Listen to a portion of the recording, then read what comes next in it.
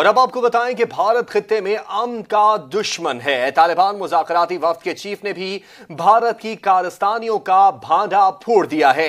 नई दिल्ली का अफ़गानिस्तान में किरदार हमेशा मनफी रहा है। भारत ने अफ़गानिस्तान में हमेशा गद्दारों की मदद और हिमायत की है। भारत खत्ते में अमन का दुश्मन तालिबान मुजाकराती वफ्त के चीफ ने भी भारत की कारस्तानियों का भांडा फोड़ दिया।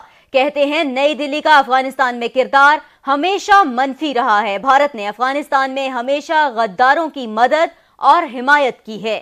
तालिबान मुजाकर वफ के चीफ ने भी भारत की कारस्तानियों का भांडा फोड़ दिया। उन्होंने कहा कि नई दिल्ली का अफ़गानिस्तान में किरदार हमेशा मनफी रहा है और भारत ने हमेशा गद्दारों की मदद और हिमायत की है। भारत खत्े में अमन का दुश्मन रहा है और हमेशा खत्े के अमन को बर्बाद करने की भारत ने कोशिशें की हैं।